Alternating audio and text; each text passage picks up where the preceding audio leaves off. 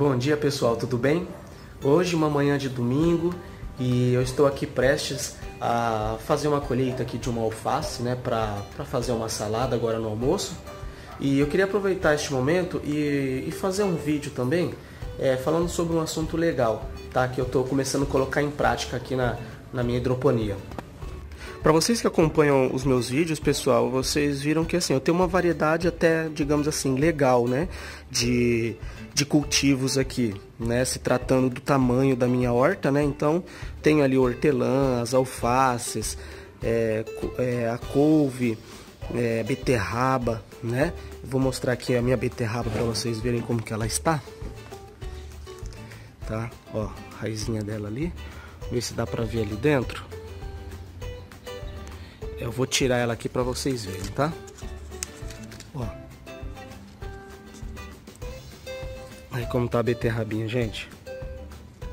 Tá vendo? Não tá grande, né? Ela tá com mais ou menos uns 70 dias. Até onde eu sei, né, a beterraba é uns, é uns 90 dias. Então, assim, tá legal, né? Assim, pra mim, né, eu tô gostando do resultado. E tem gente que faz salada, faz refogado com as folhas dela. Daqui uns dias eu vou, vou experimentar para ver como que é. E o que, que eu queria falar? Eu estou fazendo alguns testes, pessoal, é, com algumas outras, alguns outros cultivos para ver o que, que dá certo e o que, que não dá. É algo que eu né, sou bem curioso e eu quero fazer esse teste. Então aqui, ó, este aqui é um pezinho de morango, é, é um pezinho de tomatinho, tá? Tomate cereja. Aqui eu tenho um moranguinho, este outro aqui eu nem sei o que é, tá? Não sei definir.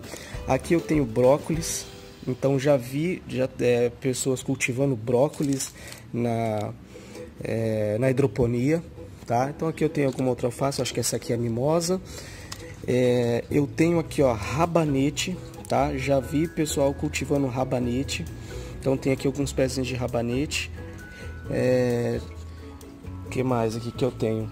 Enfim, é, essas novidades aqui. Aqui tem esse pezinho, não sei dizer o que que é, mas enfim, é, coisas diferentes, né? Tem couve-flor também, eu não sei qual desses aqui, tá? Tem uma couve-flor também, mas assim, é, eu quero testar, né, gente? Então assim, vamos ver o que, que vai dar certo, né? Então eu tenho uma variedade boa aqui, né? Desde ó, o hortelã, como ele tá bonito, né? Ó, o hortelã, tem o morango, couve, né?